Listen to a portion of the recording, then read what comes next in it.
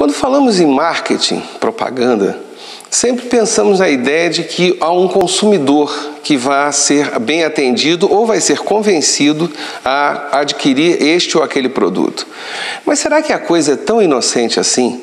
Será que a ideia de um consumo ou um consumidor está tão livre das artimanhas, no bom e no mau sentido do marketing?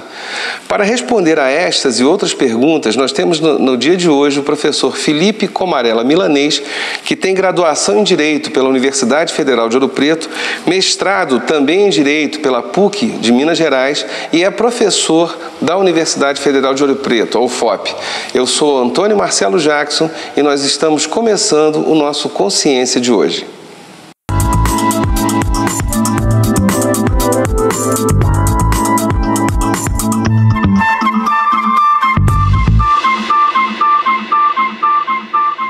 Bom, Felipe, antes de mais nada, obrigado pelo pela disponibilidade, pelo tempo de estar aqui.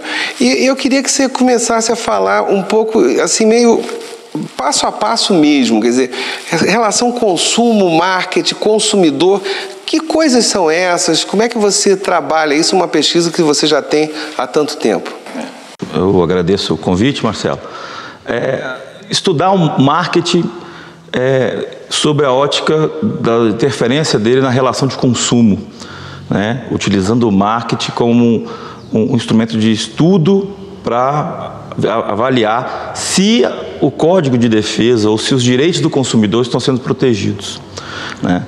É, a gente tem aí, a partir da, da Revolução Industrial, onde até então as demandas dos produtos decorriam das necessidades das pessoas, ou seja, o indivíduo precisava de uma cadeira então ele procurava alguém que sabia fazer uma cadeira e fazia uma cadeira para ele. E a partir dessa revolução industrial, a gente tem uma explosão na, na, da, das manufaturas, não é? Então já não existia apenas mais uma cadeira, mas era uma cadeira Luiz XV, era uma cadeira vitoriana, uma cadeira de diversos outros outros estilos, e isso inverteu essa lógica. Agora não era mais a necessidade do indivíduo que gerava a demanda, era, na verdade, a, essa demanda apresentada, essa, no, essa nova produção que gerava a necessidade do indivíduo. Como assim?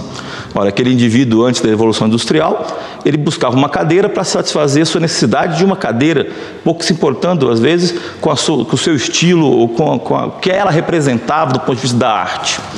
A partir da Revolução, esse indivíduo passou a poder ter escolhas.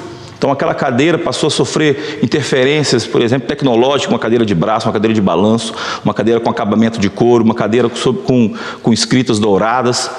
Apenas em cadeira a gente já tem esses exemplos. Com isso, o mercado econômico, com esse crescimento dessas trocas econômicas, passou a ficar umbilicalmente dependente dessas trocas econômicas, do comércio, dessa, dessa, desse consumo, para dar vazão a toda essa produção, eu precisava ter do outro lado alguém que consumisse. Só que eu não poderia esperar que esse alguém que consumisse, que é o consumidor, percebesse uma demanda. Eu teria que levar até ele, demonstrando que ele teria necessidade em adquirir novos produtos, surgindo dessa essa fonte de produção através da Revolução Industrial, e de outra a gente tem lá aquele destinatário desse produto, que caracterizou como consumidor. E agora esse consumidor estava diante de uma gama infinita de novos produtos, novas necessidades que lhe eram apresentadas. Mas aí entra a grande questão. A necessidade daquele indivíduo continuava sendo uma cadeira. Então, para ele, originalmente, pouco importava qual era a cadeira, porque só tinha um, ele só, só, conhecia um marceneiro que fazia uma cadeira. A partir do momento em que ele ficou ah, exposto a uma, diversos novos fornecedores, foi necessário criar uma, um mecanismo para demonstrar para aquele indivíduo que ele poderia ou necessitaria comprar esta cadeira e não aquela. É nesse momento, então, que o mercado de fornecedor estabelece que você não tem mais uma necessidade, eu tenho que te mostrar objetos de desejos. Felipe, deixa, deixa eu te interromper um instante para ver se, se eu estou entendendo. Então vamos lá. É, seguindo me corrija se eu falar alguma bobagem. É, primeiro lugar, você tem uma necessidade que é concreta e aí continuo, vou ficar com o teu exemplo. Eu preciso de uma cadeira, ponto. Né? Vem a Revolução Industrial e essa Revolução Industrial torna possível que é, eu não tivesse apenas um tipo de cadeira, mas sim diversos tipos de cadeira. Aí foi uma, digamos, o, o acaso aí operando, operacionalizando essa, essa situação. O problema é que na, na hora em que se, se, gera uma série de cadeiras, né, dizer, e o sujeito continua tendo apenas necessidade de uma única cadeira, e não de tantas, né, surge com isso o que? No final das contas, a necessidade de não apenas agora vender uma cadeira, mas sim vender o desejo de ter esta ou aquela cadeira. É, é isso que a tua linha diz assim. Exato. E aí o, e o direito, então, eu, bom, estou começando a desconfiar onde o direito vai entrar aí, entra direito consumidor. Mas, mas até aí está certo, é essa a ideia, Sim. então. Então, quer dizer, então chegamos na situação atual e temos o quê? A, a pessoa, a, nos, nos vendem, e aí todos nós estamos envolvidos nisso, nos vendem desejos. Nos, não nos vendem mais objetos. Sim. É isso então? É, é, eu sou estudioso do direito, não sou estudioso da comunicação. Uhum. Mas a gente tem uma expressão que, na verdade, o marketing. Eu, tudo bem, estou reduzindo ao, ao, máximo aqui, mas o, arte, o marketing é a arte de vender sonhos, uhum. de vender desejos. E ele causa nesse consumidor, e aí entra o direito, uma situação que afasta dele nitidamente a sua racionalidade.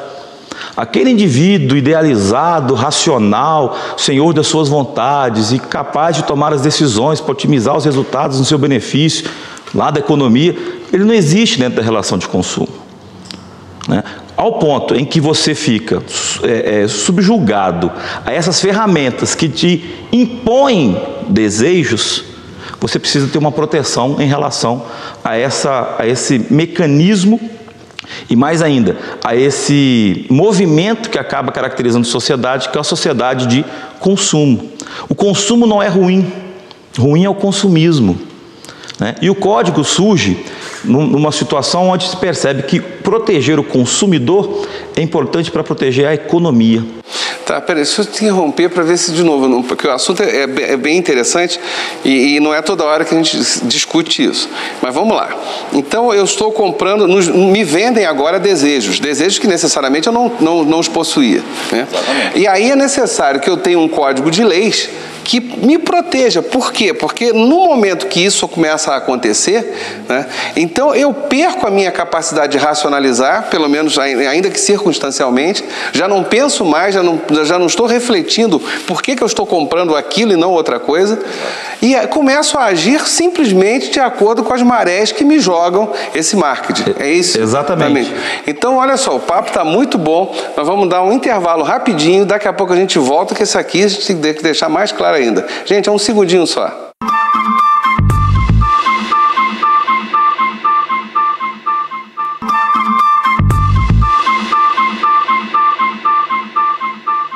Estamos de volta à nossa consciência de hoje com o professor Felipe Comarela Milanês. E Felipe, nós terminamos o outro bloco onde você colocava que, em resumo, nós hoje em dia compramos desejos, ou nos vendem melhor, desejos, e isso acontecendo, nós perdemos é, é, essa nossa capacidade de racionalizar. Eu me lembro que nos últimos 200 anos, pelo menos do iluminismo para cá, me convenceram de que o ser humano era racional. E aí, só para pegar o gancho, eu faço a seguinte brincadeira para você pegar a tua conversa. Então, no final, perdemos a nossa humanidade ao deixarmos, ao perdermos essa racionalidade? Pois é, Marcelo. Para a economia, essencialmente o homem é um ser racional. Certo. Que toma as decisões para otimizar suas necessidades, atingir seus objetivos. Só que essa premissa não se justifica no Código de Defesa do Consumidor, que é o elemento de proteção que, gente, que eu estudo. Uhum. Para o Código, o consumidor é chamado de hipossuficiente. Então ele já parte de uma situação de desigualdade dentro dessa relação estabelecida com o mercado de consumo. E é muito fácil a gente perceber que a gente não é racional ao consumir. Né? A gente na ideia da cadeira lá de trás, que foi uma revolução, a gente toma por parte que hoje a questão da, da, da, da tecnologia. Toda semana aparece um novo produto prometendo coisas que a gente nunca imaginou que ia precisar, e aí a partir daí a gente fala como eu vivi até hoje sem isso. Né? Então, a todo momento. Nós que é a ideia, do, desculpa, a ideia do desejo, né? É essa, essa, essa desejo. tua fala última aí. Como é que eu vivi até hoje sem isso, né? Como é que eu vivi até hoje sem o Facebook? Sem o, sem o celular, como, é que, como, existimos? Como, como existimos sem o celular? e já não basta mais um celular. celular, um celular que... Tem que ter um celular que me conecte na internet. Bata fotos. Bata foto e fale ao mesmo tempo com todos os meus amigos. Só que a gente fala, como eu não pensei nisso antes? Não, alguém pensa pela gente. Né? Na verdade, a, o desejo estabelecido pelo marketing me coloca numa situação de vulnerabilidade ainda maior onde para que seja para que eu me faça me sinta parte de algo, me sinta incluído num determinado grupo social, eu preciso consumir. E, mas não basta consumir, tem que consumir aquele determinado produto. O resultado final disso é a perda total da racionalidade é mesmo. É... Que você está sendo, você virou refém aí. Isso. E, e aí isso causa discussões gigantes. O marketing também parte do pressuposto que ele faz um bom serviço ao indivíduo. E não acho que o marketing seja ruim. Eu acho que o marketing, quando utilizado de uma forma a vincular o indivíduo na sua necessidade e explorar esse desejo, perdão, não necessidade, mas o desejo desse indivíduo, ele torna é, danoso para o cidadão. A ideia do marketing de levar informações, explicar o que é, que é o produto, quais são as suas funcionalidades, não tem qualquer problema e é saudável. Né? A gente não poderia imaginar outra forma de ter acesso a essas informações. Entretanto, o uso de neuromarketing, por exemplo, é? cores específicas em determinados anúncios. O vermelho, é. isso aí eu sempre ouvi falar, confesso, eu desconheço, conheço Sim. mais de ouvir falar. O vermelho em lanchonete. Vermelho que é atração e repulsão, né? Isso, vermelho e amarelo em lanchonete. Sai rapi, rapidamente. O vermelho e o amarelo, e aí a gente pega várias marcas, várias cadeias aí de fast food, todas têm o vermelho e o amarelo nelas, uhum. né? Você, a gente pode observar que é, embalagens de leite possuem uma cor específica, não tem muita variação nisso, né? a utilização de, de, de neuromarketing e até mesmo de estratégia de comunicação, como a gente pode perceber que está acontecendo muito no Brasil, quando termina ou vai dar um intervalo comercial, a primeira propaganda que entra, o som já está lá, é um pouco mais alto do que o normal, sem a gente nem mexer na televisão. Isso são ferramentas específicas de marketing para estabelecer um elo de ligação entre aquilo que ele quer te passar e o seu ato de compra final. E para mim, aí, nesse momento, a gente perde a racionalidade. Isso aí é classe C, D, E, ou até o indivíduo mais rico desse Brasil. Ele possui desejo. O consumidor não está preparado e o direito também não está preparado neste momento para atuar nessas questões. Mas e o direito do consumidor? Não o direito do consumidor isso? ele vai até um certo ponto, mas ele envolve publicidade enganosa e abusiva.